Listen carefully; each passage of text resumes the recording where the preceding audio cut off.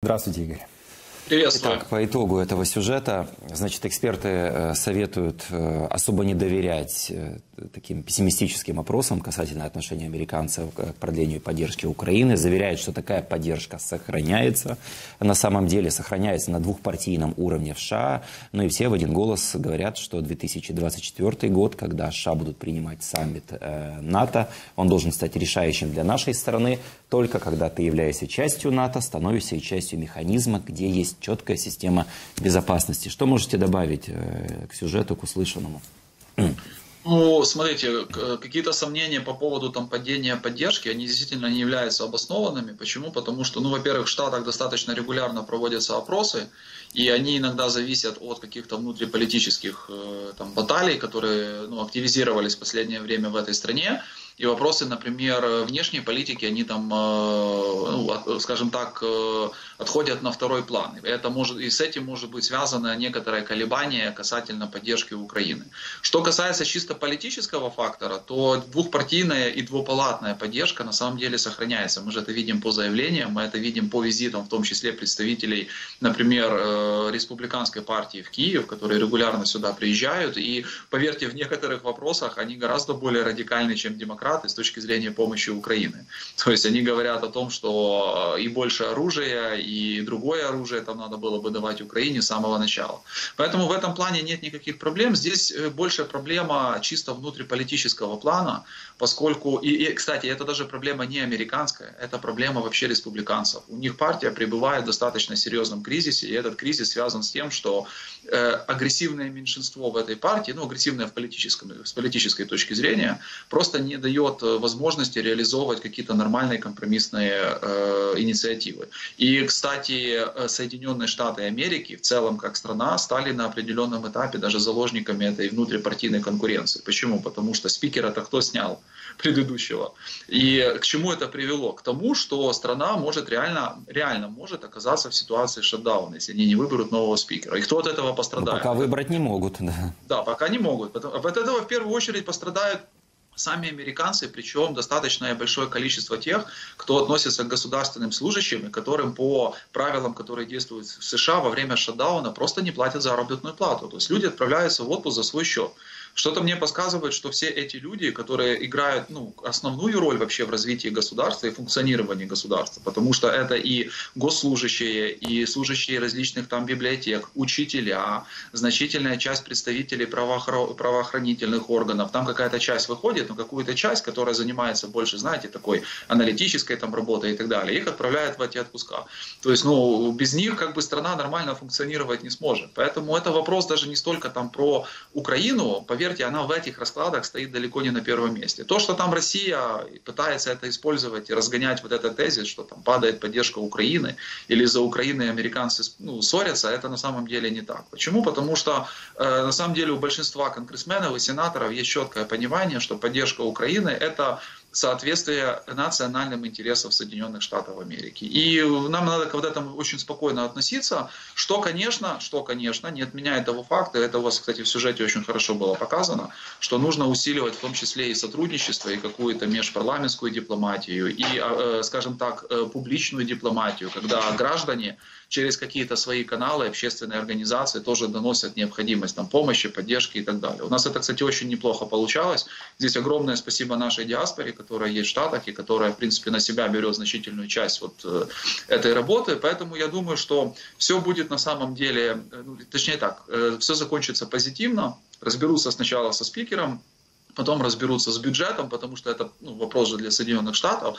И в, в этом бюджете, либо в, конкретно в самом теле бюджета, или отдельным законом будет принята помощь как Украине, так и Израилю, ну, поскольку сейчас две горячие точки. И э, у Байдена есть такая идея, вот как бы объединить эту помощь. Э, Да-да, Bloomberg, Bloomberg сейчас сообщает, да. что Байден может запросить у Конгресса около 100 миллиардов э, на помощь Украине и Израилю. И Израилю, так. Да. И смотрите, здесь получается, ну, это на самом деле очень такой интересный политический ход. Почему? Угу. Потому потому что откровенные трамписты, которых там немного, которые выступают против помощи Украине, они, например, никак не могут выступить против помощи Израиля. Я хочу напомнить, что именно при Трампе да. и при э, ну, республиканской партии фактически Соединенные Штаты вот э, поддержали эту инициативу признания Иерусалима столицей Израиля, ну, которая неоднозначно воспринимается многими странами вообще в мире, не только там в регионе.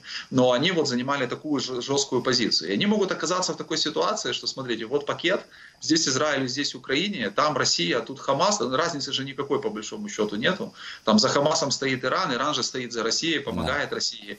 Как бы, и э, как они в этой ситуации себя будут вести, ну, вот тут вопрос как бы такой, знаете, знаете, риторически. Скорее всего, они будут за это голосовать. Поэтому единственный вопрос, который сегодня ну, можно, может реально подниматься и который реально ну, представляет определенную такую проблему, это просто вопрос времени. Как, как, как долго будут принимать это решение. Но опять-таки это внутриамериканская история. Вот как они со спикером разберутся, как они этого спикера выберут. Ну вот предыдущий, которого сняли, э, его пять дней выбирали и там, по-моему, 15 раз голосовали или, или 17 раз э, за него. То есть это абсолютный рекорд был, э, поэтому не исключено, что такая эпопея будет продолжена, но она рано или поздно закончится, поскольку все американские политики, смотрите, какие бы лагеря они не представляли, но они, тем не менее, ответственны с точки зрения вот этой ответственности перед своими избирателями. Поэтому они все сделают так, чтобы система заработала и к какому-то компромиссу обязательно придут. И Украина будет частью, кстати, этого компромисса. Да. Что ж, а тем временем президент э, США Джо Байден сегодня э, прибывает с визитом в Израиле. Эм, уже были кадры, где он встречается с премьер-министром Бенемином Нетаньяху. Главная цель этого визита – продемонстрировать солидарность со страной, с правительством, с простыми людьми, израильтянами, важно подчеркнуть, что госсекретарь США Блинкен уже дважды э, с момента начала э, войны побывал в Израиле. Буквально позавчера проводил ряд встреч и переговоров. Игорь, как вы оцениваете сейчас важность этого визита? Чего ожидается? Сторона Байдена говорила, что в том числе будут задаваться неудобные вопросы израильской стороне. Ну, смотрите, этот вопрос в первую очередь, конечно, наверное, бы должен был касаться той ужасной ситуации, которая случилась в больнице, с больницей, да, в секторе Газа. Да. Но та информация, которая сегодня утром Израиль была, всячески э, отвергает причастность а, к этому, да. Ну, смотрите, ну, Израиль, он же не просто как бы голословно там отвергает это, да, они предоставляют соответствующие документы, факты, видео. Э, ну, меня, допустим, то видео, которое я видел, и те разъяснения, которые были даны Сахалом в том числе, ну, они убедили, что это явно явно не пуск со стороны Израиля. То есть Израиль использует совсем там другой тип бомб, и э, к чему приводят эти удары, мы прекрасно видели. А здесь мы видим, вот смотрите, ну, здание целое, да, там сгорела парковка, но очень похоже там именно на падение ракеты. Но Израиль при этом ракеты не использует, именно такие, которые используют, например, тот же Хамас или там вообще исламский джихад. И Байден сказал, это очень важный момент, что он как бы считает по состоянию на сегодня, что вот та информация, которая у него есть, а поверьте, я думаю, что ночью американские аналитики и спецслужбы очень активно в этом плане работали, собирали всю необходимую информацию, потому что такие заявления, ну, когда президент делает, они должны быть подкреплены фактами. Он сказал, что это явно как бы не Израиль. Э, ну, с другой стороны, проблема вот неудобности этих вопросов, она остается, потому что никто пока по состоянию на сегодня не знает, что будет дальше делать Израиль в контексте решения вот этой ситуации в секторе Газа. Э, израильские аналитики, журналисты пишут, что э, наземная операция, она неминуема. То есть она будет обязательно проведена, будут, будет взят под контроль весь этот регион, там 360 квадратных километров, и Хамас будет полностью уничтожен. Понятно, что это может вызвать какие-то ну, дополнительные шаги со стороны некоторых государств в регионе, и некоторых террористических группировок, то есть они могут подключиться к войне. И Штаты должны просто ну, четко понимать, к чему это приведет. Но самый главный вопрос, ну это финальный какой-то план, который есть, он нет его на сегодняшний день у Израиля, мы пока не знаем. А как, как они вообще собираются решать дальше проблему газа? То есть оставить все как было до этого, ну только уничтожить Хамас, или все-таки как-то реализовывать какие-то другие там инициативы, с которыми они могут сейчас выступать. Поэтому вот по этому поводу Байден и Таньяху, они, безусловно, будут говорить, уже, наверное, говорят. И э, они могут задавать друг другу, в принципе, э, неудобные вопросы. Почему? Потому что это стратегические партнеры. И вот в этом, кстати, нет ничего такого. Опять-таки, там российские СМИ, допустим, или СМИ там антиизраильские, они вот это э, высказывание Байдена подхватили, что Байден там чуть ли не ругать будет Натаньяху или что-то там от него требовать. Ну, они не понимают одну простую-простую вещь. Как раз между партнерами, союзниками, друзьями. Вот э, допустимо как раз говорить на, на различные темы, в том числе и на очень приятные. Ну, зачем там заниматься каким-то дипломатическим политесом, если есть какие-то конкретные вещи, эти конкретные вещи надо решить. А Байден про конкретные вещи сказал очень четко. Израиль э, имеет полное право себя защищать, Хамас должен быть уничтожен, ну и мы надеемся, что дальше как-то вопрос Палестины будет решаться. Да, и канцлер Германии Олаф Шольц также накануне посетил Израиль с визитом солидарности. Тоже были встречи и с премьер-министром Бенемином Нетаньяху, и с президентом Ицхаком Герцогом, и родственниками немецких э, заложников, которые были вывезены в сектор Газа. А вечером Олаф Шольц отправился в Египет, и, эм, правда, в аэропорту Тель-Авива ему вместе со своей делегацией пришлось лечь на землю, звучала воздушная тревога, был ракетный обстрел. Э, давайте посмотрим, как это было. Покажите, пожалуйста.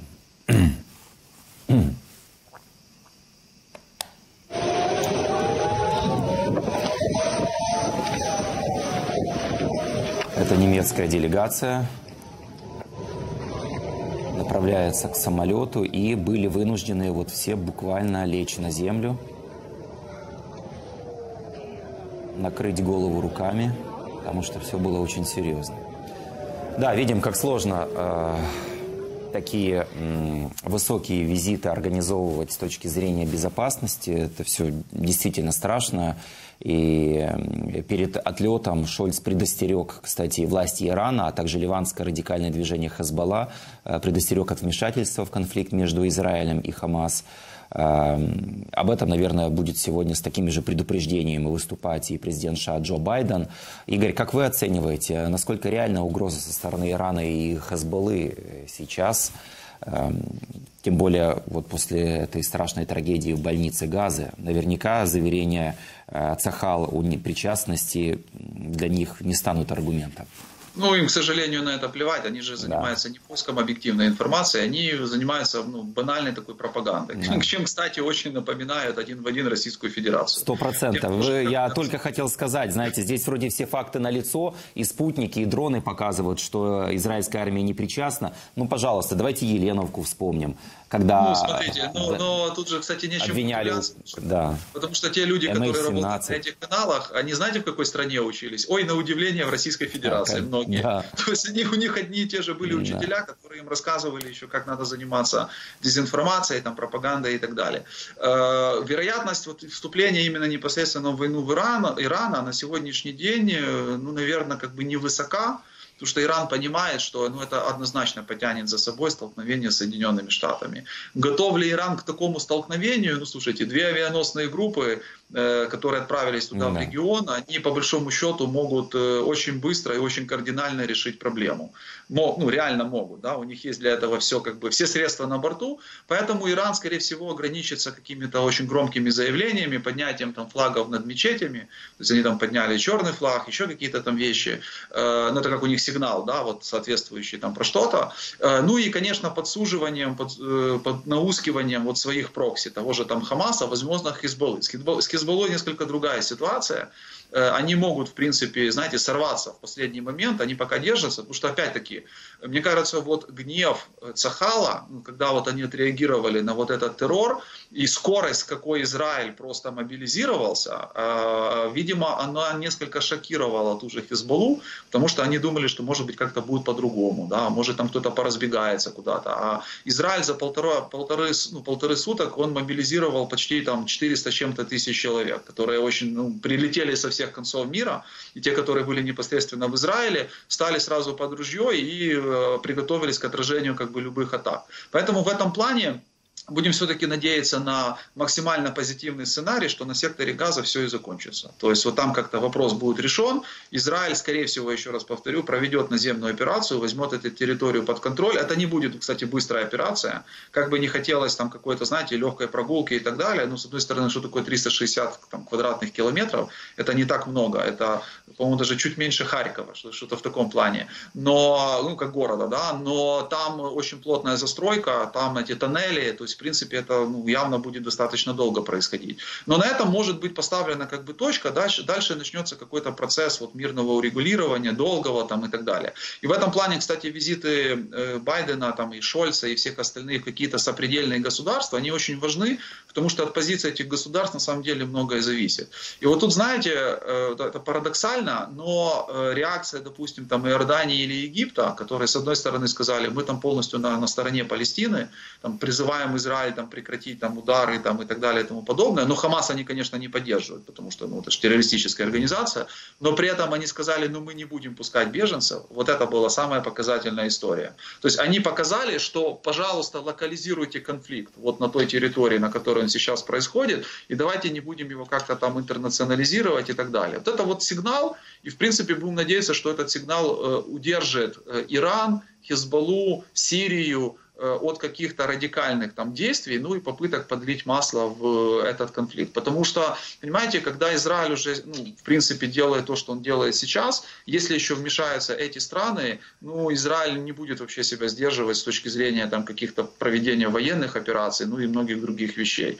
И поэтому в этом плане э, будем надеяться, что пойдет как раз по такому более-менее оптимальному сценарию. Ну и плюс подключили же мировые лидеры, которые пытаются как-то найти какой-то компромисс. И... Макрон собирается тоже приехать, только как-то Они боится. все туда приедут. Это, безусловно, как бы правильный шаг. С одной стороны, солидарность там, против террора. Э, вот Натаньяху там с Зеленским по телефону поговорил, да, они обсудили там все эти вещи. То есть это, это важные как бы моменты, которые э, показывают, что, в принципе, все страны это цивилизованный Израиль поддерживают. Ну, понятно, что через какое-то время начнут ну, напоминать там, о необходимости каких-то там мирных переговоров, там, решения этих вопросов и так далее. Поэтому тут, знаете, все сводится к тому, насколько быстро будет уничтожен Хамас. Сейчас в интересах, наверное, всех в регионе, чтобы эта террористическая организация как можно быстрее прекратила свое существование. Вообще было бы идеально, чтобы они просто сдались, отдали бы всех заложников, которые они держат, и тогда бы вот реально это принесло бы мир на, на эту землю. А так, пока они будут сопротивляться до конца, их, конечно, будут выбивать, ну а дальше уже начнется процесс каких-то там ну,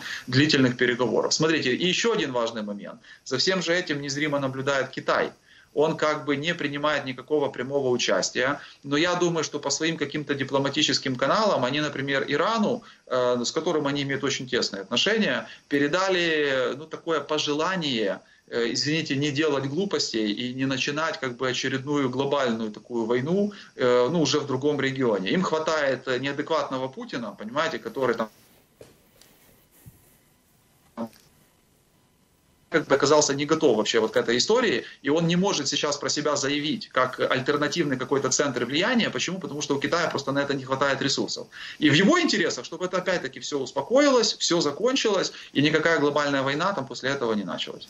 Так, раз уж вспомнили Путина, давайте поговорим о его визите. Сейчас он находится в Пекине, э, принимает участие в форуме «Один пояс, один путь». Э, сегодня у него запланированы переговоры с лидером Китая Си Цзиньпином. Российском МИДе сообщили, что это будут переговоры как в расширенном формате, с делегациями, так э, в узком, с глазу на глаз. Чего вообще можно ожидать от этого визита? Э, знаем, что в последний раз Путин был в Китае за три недели до э, российского вторжения в Украину, когда в Пекине проходили зимние Олимпийские игры. Что сейчас Путин будет просить оружие? Решится ли на такую помощь Си Цзиньпин?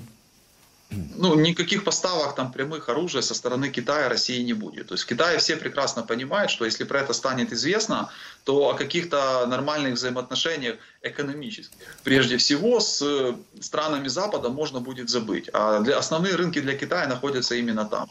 Поэтому Путин будет делать то, что он, кстати, уже вот сделал. Он будет предлагать э, ну, любые как бы, условия со стороны России для интенсификации каких-то экономических взаимоотношений с Китаем. Они там какое-то соглашение подписали чуть ли не до 30 -го года по поставкам э, продовольствия, еще там какие-то вещи. Ну, грубо говоря, Путину нужно сейчас э, максимально быстро, максимально масштабно э, распродать свою страну и распродать свои ресурсы. Тут, кстати, про выгоду вообще не, не речь не идет, потому что все, что предлагает Россия Китаю, ну, это не идет ни в какое сравнение с тем, что они э, ну, в реальности как бы э, ну, могли бы заработать. Там была еще очень такая смешная история с «Газпромом», который сказал, что мы вот сейчас там подписали тоже собираемся, точнее, подписать там, до 30 -го года соглашение с э, Китаем и будем поставлять туда столько газа, что это перекроет э, с лихвой все поставки, которые мы раньше делали в Европу.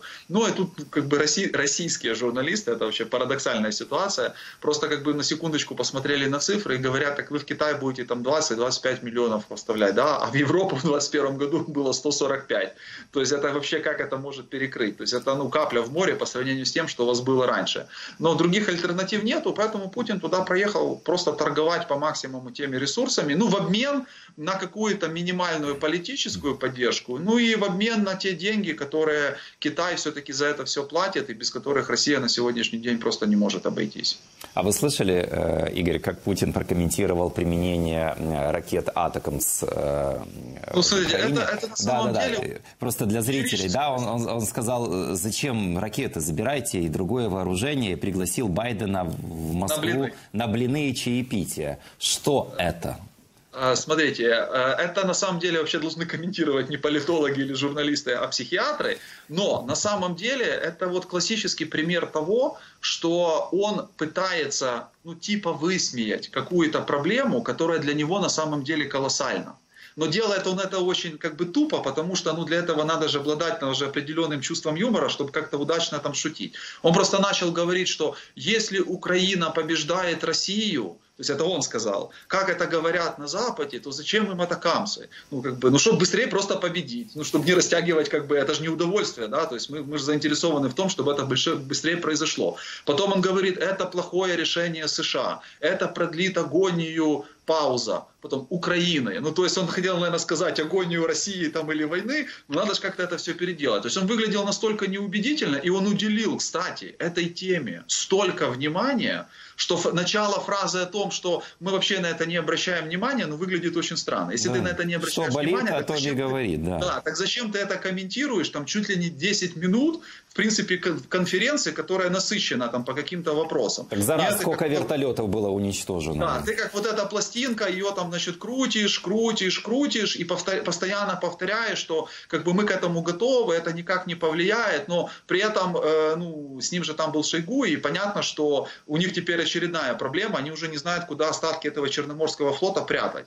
Потому что, в принципе, и так уже в Черном море без атакамцев постоянно прилетало и топило. Теперь, если они его даже куда-то еще там передвинут, и, и туда долетит. Поэтому для них это на самом деле очень большая проблема. И то, что Путин на этом сосредоточил свое внимание, как раз говорит о том, что он, может быть, хоть на какое-то время вышел со своей виртуальной реальности, которую ему там рисуют, и просто понял, что это действительно вот то, то оружие, которое может ну, серьезно повлиять на ситуацию на поле боя, ну явно не в пользу Российской Федерации. Она и так, в принципе, складывалась не очень хорошо, ну а по факту будет складываться еще хуже. Э, я думаю, что после его возвращения э, он еще даст какую-то пресс-конференцию, если у него сил, конечно, хватит на это, и обязательно скажет, что опять достанет ядерную дубинку, начнет там стучать по столу и говорить, что, тем более Госдума там же вышла с вот этого договора, да. Э, начала процесс отзыва, да, скажем так, России, там, и до 19 числа они хотят это завершить, как бы, и начнет рассказывать, что вот у них атакамся, у нас же там тактическое ядерное оружие там, и так далее и тому подобное. Ну, то есть ничего нового,